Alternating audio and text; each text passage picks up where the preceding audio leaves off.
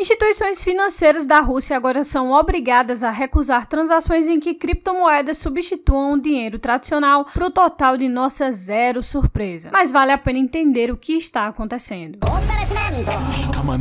Pague conta de luz, água, celular, internet, Uber, a casa da massa, de massagem das primas. Qualquer boleto com Bitcoin e outras criptomoedas. A tá aqui embaixo no link. Seja feliz. Olá pessoal, meu nome é Ilana, sejam bem-vindos ao canal Dinheiro Cripto. E o primeiro link que estará na descrição desse esse vídeo é o da Binance essa aqui é a maior corretora de criptomoedas do mundo. E usando esse link para se cadastrar, você terá um total de 15% de desconto em todas as taxas de trade.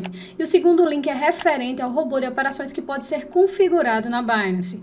Vamos ao vídeo. Meus queridos, o presidente da Rússia, Vladimir Putin, assinou nesta sexta-feira uma lei que proíbe criptomoedas como o Bitcoin de serem usadas como meio de pagamento no país, conforme revelou o portal de notícias do governo RBC. Com a lei em vigor, as instituições financeiras que atuam no país estão obrigadas a recusar transações onde seja possível utilizar ativos digitais como substituto monetário. É proibido transferir ou aceitar ativos financeiros digitais como contraprestação por bens transferidos, obras executadas, serviços prestados, bem como qualquer outra coisa que permita assumir o pagamento de bens, obras e serviços por um ativo financeiro digital, salvo disposição em contrário por leis federais, diz o trecho da lei. A proibição de hoje chega exatamente um mês depois de o parlamento da Rússia, conhecido como Duma, aprovar em primeira votação o projeto de lei que estabelecia as novas obrigações. A movimentação para criar novas barreiras para o avanço das criptomoedas na Rússia começou no início desse ano,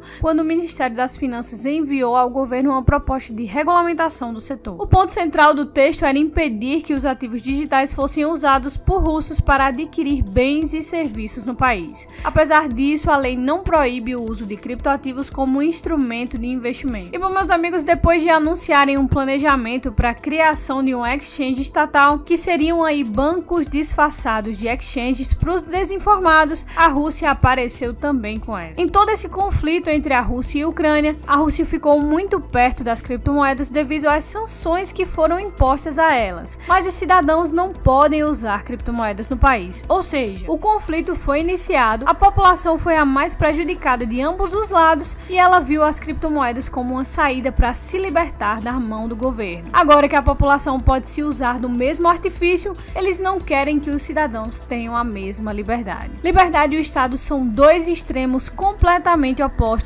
as leis são válidas até que eles não precisem quebrá-las. E se precisam, eles mudam essas leis, ou melhor, adequam às suas necessidades. Esse é o Estado. E é isso, não esquece de deixar o seu like nesse vídeo. Muito obrigada por terem assistido e até mais.